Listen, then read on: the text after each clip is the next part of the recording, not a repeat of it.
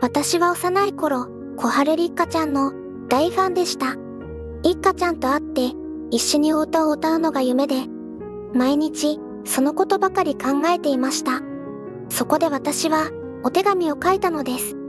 一花ちゃんへ私の家へ会いに来てください。一花ちゃんの好きな美味しいヨーグルトを用意して待っています。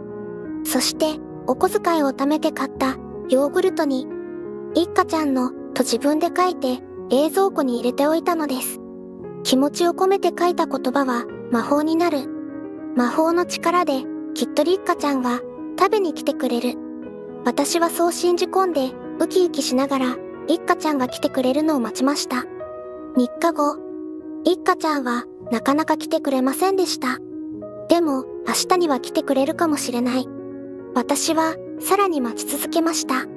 消費期限が切れてお母さんが捨てようとしても、一花ちゃんのものを勝手に捨てちゃダメ、と、かたくなに抵抗しました。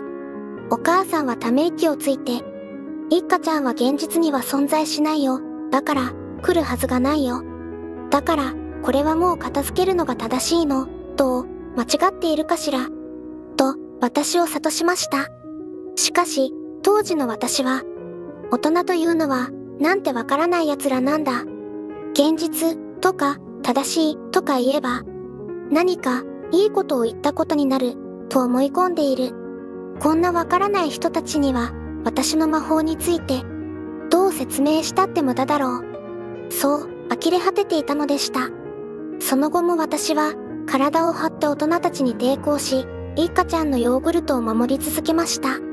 そうして1ヶ月、半年、1年、私は立花ちゃんをずっと待っていました。そして5年が経った今、私は自分が完全な大人になったわけではないけれど、少しずつ大人に近づいていることを感じています。あんなに得意だった魔法も今はもう随分下手くそになってしまいました。冷蔵庫の奥にしまったままの古いヨーグルト。